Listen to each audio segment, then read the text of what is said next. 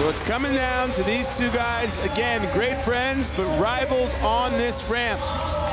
PLG does not like living in the shadow of Shaun White's fame on this vert ramp. Boom, big, look at that. Shaun has got the power.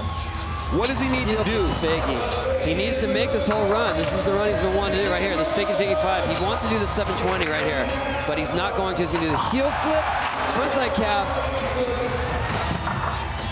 and backside 360, 720. He's got it.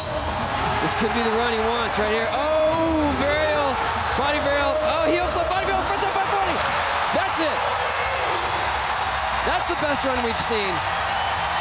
If the judges don't say so, I don't care. That is the best run we've seen here tonight. Absolutely.